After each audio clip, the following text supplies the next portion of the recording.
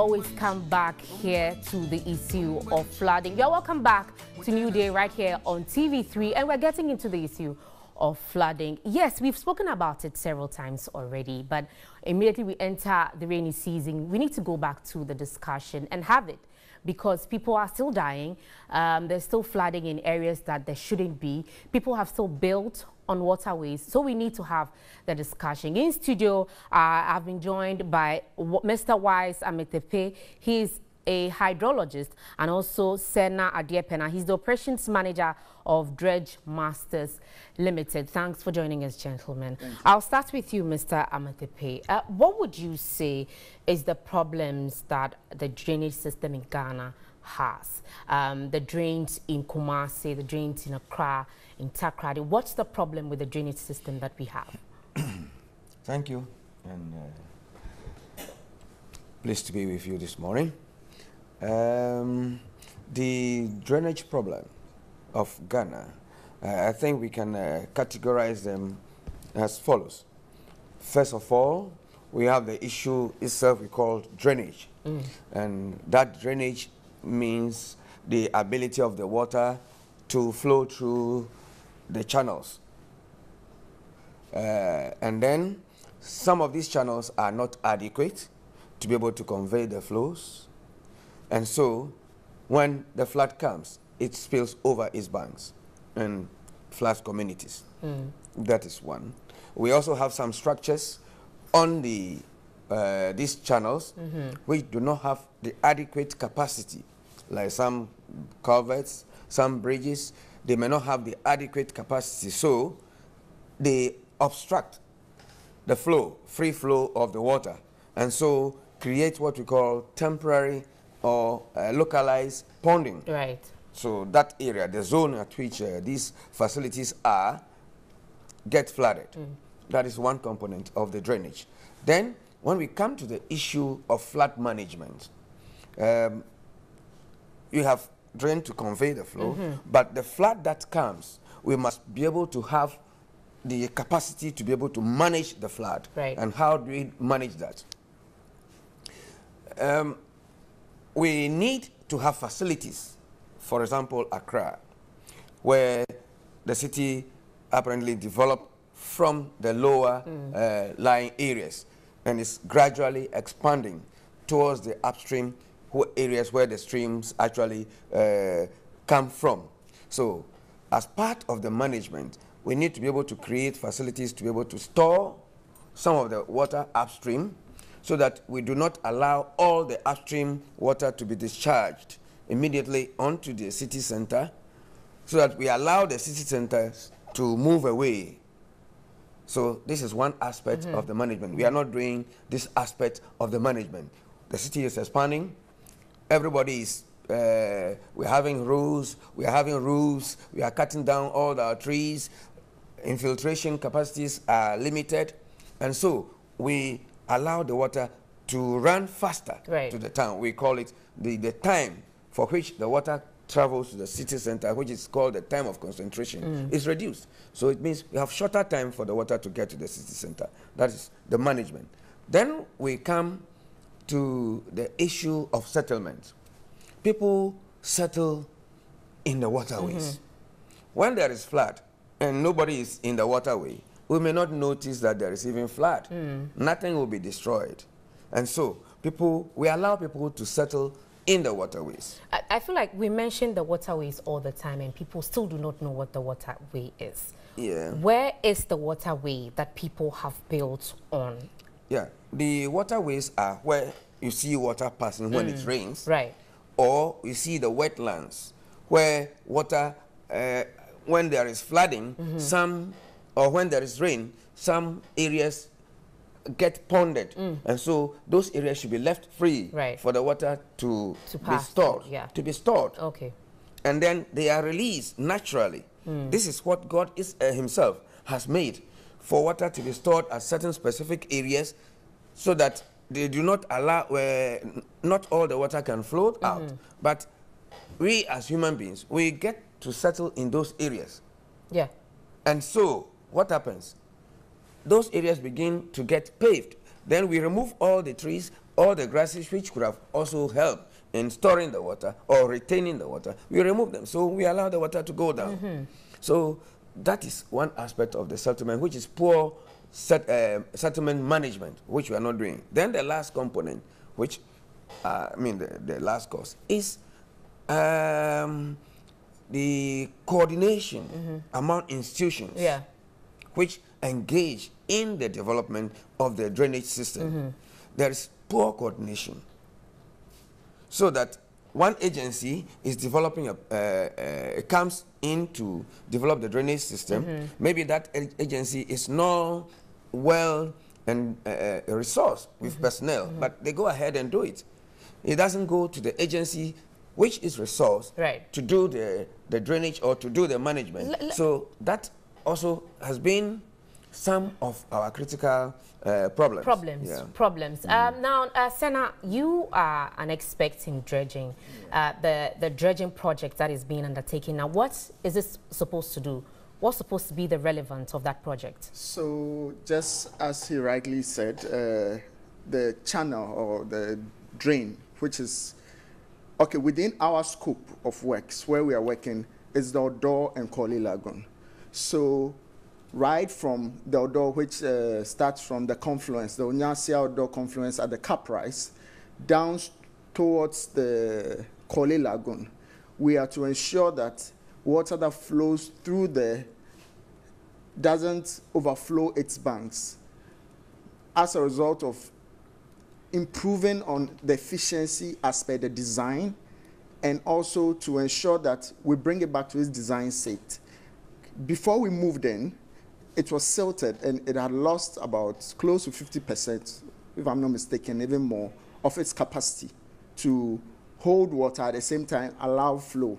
So that when you have very minimum average rainfall, the slightest rainfall, you realize that because of its loss of capacity, it tends to easily overflow its right. banks. And there are also identified bottlenecks along the channel where he mentioned uh, uh, bridges, culverts, which are positioned in such a way that added to the silt, mm -hmm. debris, plastics that are blocking all of these passages, right. we need to ensure that we clear them quickly to allow for ease of flow. That is on the in the Odaw. Mm. So Odaw, we are to bring it to its design state, ensure that the bottlenecks are cleared from uh, debris and plastics, silt, right. and then down towards the Korle Lagoon, which also holds the water and at the same time allows it to flow out naturally. We are to bring it to its designed depth so that whatever is coming from upstream, downstream, the Korle Lagoon will be able to hold it or retain it mm. and at a point allow it to flow out easily right. into the sea. Right. Then we have the civil infrastructure bit, which is the breakwater, which also falls within our scope. And then we also have the interceptor, which is uh, intercept uh, the flow between the Odaw and then the Korle Lagoon. We are to bring that or rehabilitate that, mm. bring it back to its mm. function, uh, functional state to ensure that water from the Odaw, polluted water, does not contaminate the Korle Lagoon. So it's, it's a big scope. And uh, in the interim, what we are doing now is trying to race with time as we are already in the rainy season right. to ensure that all blockages are freed. Mm. Or access, narrow access passages where water should flow easily are quickly desilted and dredged to allow to for ease of flow right. downstream. Um, Mr. Ametepe, he mentioned the removal of debris and refuse you know, from these drains to make way for the flow of water. Now, what happens when it rains mm. is that you see people uh, dropping uh, bags of refuse mm. in uh, these drains yeah. because they are not covered. Yeah. Why are they not covered? Yeah. True, uh, some of the drains need to be covered. Mm. Others will be difficult to cover. Now, if you do not cover your drain, and you don't manage your waste within the community, right. then people think that the, the closest places to drop the material are the drains, which yeah. is wrong. Drains are not meant for waste conveyance. they are only meant for water conveyance. So that if you throw your refuse into the drain, I talked earlier on about settlement within the, mm. the floodplains Right. if people who are settling in the floodplain, that's where the water is supposed to pass, and they continue to drop their waste or throw their waste into the system, mm-hmm. it's going to compound the system of flooding. And so, you see, earlier on, drainage management has been done without the looking at the waste. Right. Now, there, there's a shift. We have to do an integrated form of flood management or drainage management where we have to look at the waste generation within the communities to see how the agencies which are responsible mm-hmm. for waste management can be encouraged, can be advised to make sure that adequate facilities are provided within the communities. Now, then, when this is done, the drains can be covered. Now, if you don't, if you cover the drain and still people push mm-hmm. these waste into the drains, it becomes a major problem. No, it, it, the question I'm asking here is mm, that the mm-hmm. drains are not covered in the first place. Yes. And there's no way they can be covered. that most of the drains can be covered. Yeah. But the bigger ones cannot be covered. Areas where we have very bad slopes Mm-hmm. in the channel, like let's say Caprice to Odaw, Right. sorry, on the Odaw, mm. Caprice to the Korle Lagoon. Okay. It's a big system. If you, the slopes are very bad, and the conveyance of silt, ability of the water to convey silt in that zone is poor. So any silt that enters there will definitely be dropping. So such a body of water, you don't need to easily cover it. But the contributing drains, NIMA, can Yeah. be covered. Right. Uh, the uh, Onyasia can be covered. So they should so all the roadside drains should be covered. So so they should be covered. Yes, to prevent people from throwing in the refuse. Now, the, the NPP governments, the governments currently in power, said they were going to make the hydrological department an authority, Yeah. and they, wait, they were waiting on a proposal from your department. Has that been done already? Yeah, the, um, the ministry has uh, pushed the, uh, they, they have prepared a draft Mm-hmm, uh, proposal for the making the hydrological services Right. department an authority. Yes, it is good to make the hydro department an authority, Mm. but you see, hydro will make sure that all drainage issues are managed Right. but not waste. So the waste management agencies must also come on board. Right. Sena, you mentioned that um, your job is to take out the refuse Yes. From these drains. And when that is done, when it rains, it all go, goes back in there. Do you, do you realize that? The No, sand and uh, everything goes No, back in that, there. that, Does that, it or not? that, that issue has come up, and I've explained on several media Mm. outlets that what they see on the banks, stockpile of material that has been taken out. Mm-hmm. right. If you notice, you look at the banks, what we have between the drain and then the nearest uh, property or wall, it's so narrow that you cannot move it further away. Now, That's how, one how, challenge. How frequent should the dredging be? First of all, how frequent No, do we need to dredge the Odaw, for instance? Yes. How so, frequent does it have to be? So I'll, I'll get to that point, but let me Mm. just explain. So as per the operational procedure, where I mean people are ranting and Right. complaining that the material is going back, we take it out to allow for dewatering. Sena, you have to be wrapping up for me. My time for is up. dewatering process. and then later that evening, we haul away. And then the next day, we have to take out. The volumes of silt, as I mentioned earlier, is so much that it cannot all come out at once. Mm-hmm. Right. So it's a process. So then, with respect to the frequency, Mm.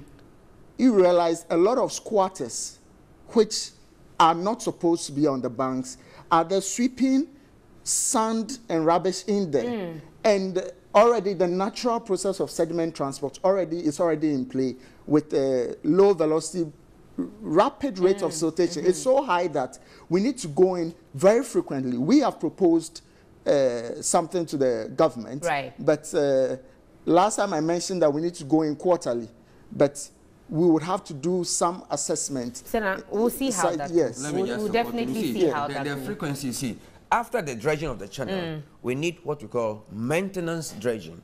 There should be continuous maintenance of, Right. Mm, of the channels. So now, currently they are doing the dredging. After the dredging, there should be another contract which should push them to be doing the periodic Okay. maintenance of the channel. Okay. The silt, that's as I said, that area is very bad. Yeah. So once Uh, they finish, they should be doing the periodic Thank you very much, uh, Mr. Wise Ametepe. He is a hydrologist, and Sena Adiepena is operations manager of Dredge Masters Limited. They joined us this morning to talk about the issue of flooding. We can't talk about it enough. We are Yeah. still going to keep talking about it because it appears they have more to talk about.